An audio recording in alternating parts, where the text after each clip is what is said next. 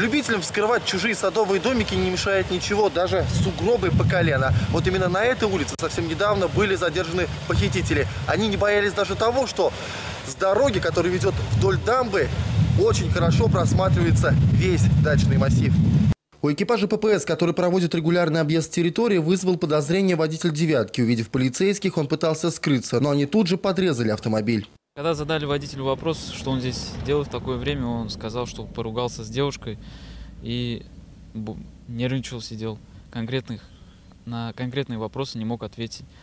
В это время из дачных домиков начали выходить двое его подельников. Заметив полицейских, они убежали, бросив награбленное. После этого автомобиль тут же начали досматривать. В машине были найдены медная проволока, аппарат на сварочный похожий. Присутствии двух принятых мы это все изъяли, протокол составили и отправили на экспертизу. Также в машине была найдена куртка, в которой находился паспорт, как потом оказалось, одного из похитителей. Благодаря этому все подельники были задержаны и доставлены в ВВД. Всем оказалось по 23 года.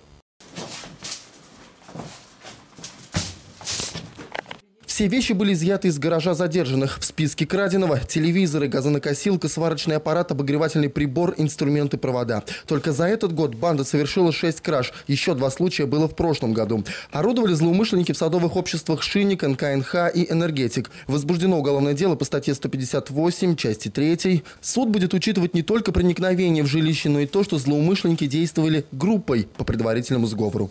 Александр Комаров, Ренат Харасов. Новости НТР.